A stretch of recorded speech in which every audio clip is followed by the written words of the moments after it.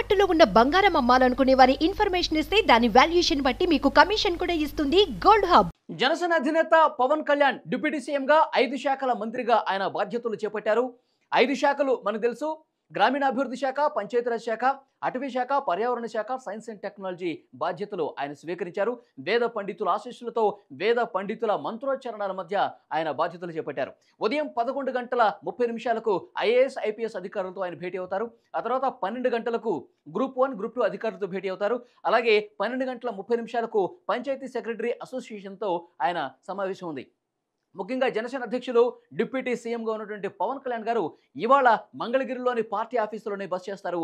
ఈ రోజంతా చాలా బిజీ బిజీగా గడపబోతున్నారు పవన్ కళ్యాణ్. నిన్న మనం చూసాం తొలిసారిగా ఆయన సెక్రటేరియట్కు వెళ్ళి సీఎం చంద్రబాబు నాయుడు గారితో కలిశారు. ఆయనకి మార్గ మధ్యలో కూడా అమరావతి రైతులు ఏ విధంగా ఘన స్వాగతం పలికారు మనం చూసాం సో పూల వర్షం కురిపించిన పరిస్థితి కనిపిస్తుంది. సో ప్రతి ఒక్కరూ కూడా జనసేన అధ్యక్షులు పవన్ కళ్యాణ్ పాలనా పరంగా సో మంచి అద్భుతమైనటువంటి విజయాలు సాధించాలని కోరుకుంటున్నారు.